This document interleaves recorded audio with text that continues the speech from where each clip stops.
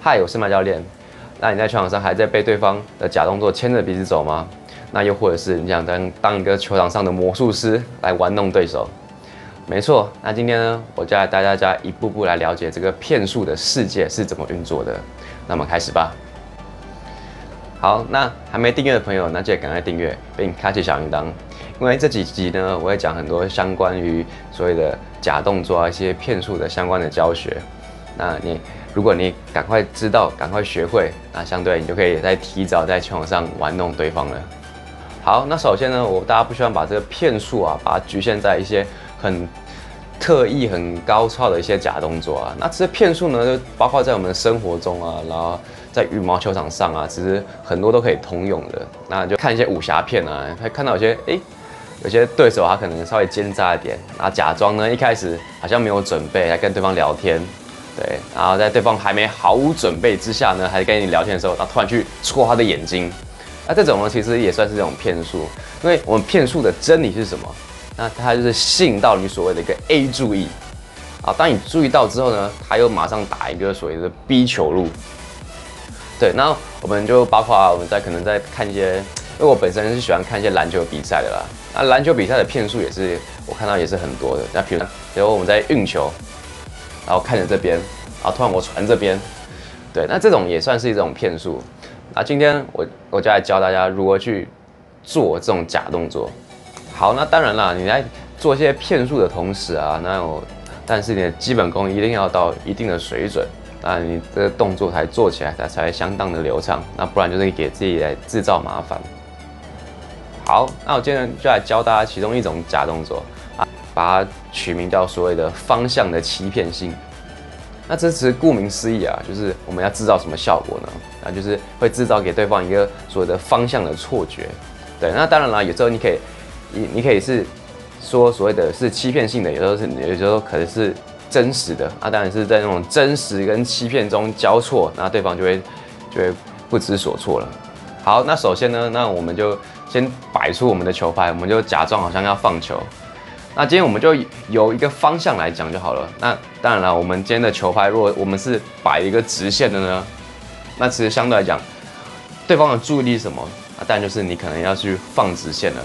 啊，这时候呢，你吸引到对方好像要击球的时候呢，那你突然去勾个对角，对，那这时候呢，他就是成功会吸引到所谓的 A 注意，就是嘿，他好像要放球了，啊，突然去勾个对角，那这个欺骗性就出来了。对，那相对来讲呢，那我们。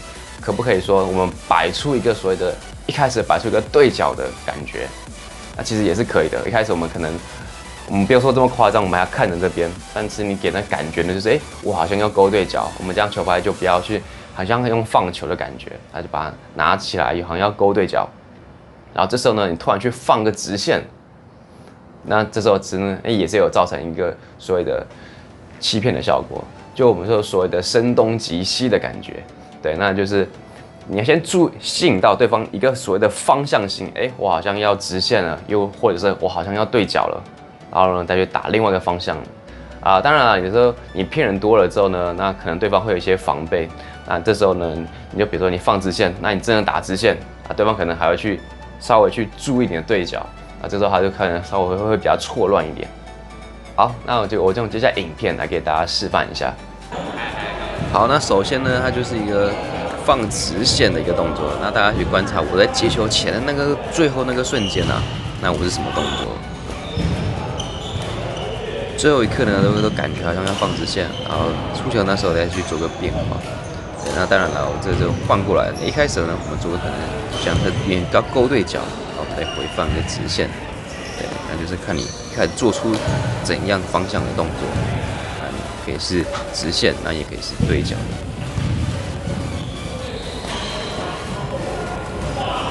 好，那当然了，你什么时候是最容易去骗到人？就是你的球拍跟球啊，你是要离得很近，好像要击球的时候去做变化啊，这时候是比较最容易去骗到人的。啊，这个当然你要去基本除了基本功好之外啊，那平平常的球感也是要一定的程度。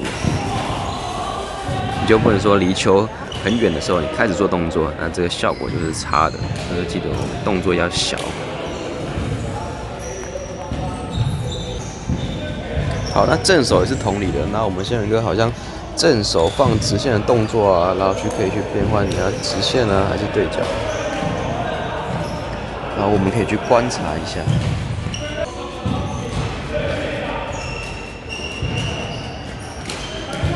好，那这就是勾对角的动作了。那用勾对角的动作呢，然后去变换，一样也是可以，就是你可以是真实的，就很单纯是打个对角。那当然你可以去变化直线。那这个是是所谓的，这个是所谓的做 A 打 B。那当然你可以做 A 打 A 啊，这个就是看你当下你的自己的想法是怎么样。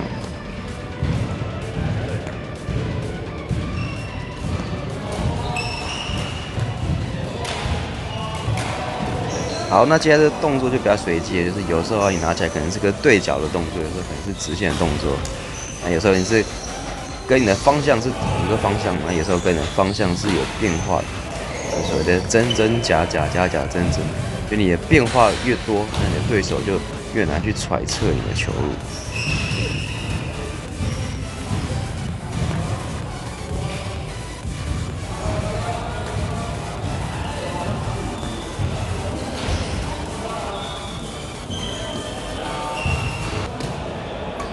好，那除了动作的方向与球的方向啊，那我们也可以变换一些球路。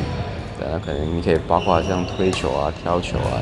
对，那这个都会牵扯到我们之后可能下一集啊，或我会讲的内容。对，那这几先比较，我们先专注在你动作的方向就好了。最早我们的动作啊，就会吸引到你的什么注意，然后那我我们再去做一些变化，然后这样子它就这个。这个所谓的假动作呢，它就是能做的很好了。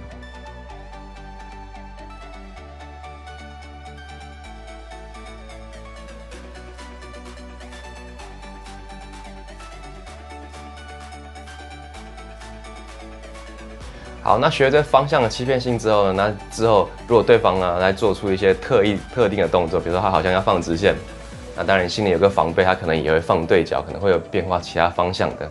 对，那相对来讲，它可能是摆出个对角呢，应该有所保留。好，那今天方向的欺骗性就教到这边了啊。哎，有时候假动作很奇怪啊，就好像你今天骗了他一球，那之后呢，他没球，他就会开始很注意你的假动作。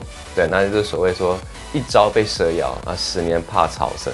所以你之后呢，你可能你打球，你就算没有骗他，他有时候都是被自己有骗到。好，那这个假动作要怎么破解呢？那有些人说你被骗多就知道了，但是我是觉得说这只有可能只有对一半而已啊。那你当然了，你除了被骗多，你看得多之后呢，那当然你还还是要所谓的你要去了解这个假动作，还是如何去骗到你的啊？就所谓能试就能破，对，你要先了解他的，诶，他是用什么东西来吸引你的注意，然后甚至说你自己可以做出来，这样子呢，你才你才能去了解他，然后才能去才能去防备他。好，那今天教学就到这边啦。那记得还没订阅的朋友赶快订阅并开启小铃铛。那我下集呢会教另外一种所谓的假动作来去吸引到你的其他注意。对，那我们下期见，拜拜。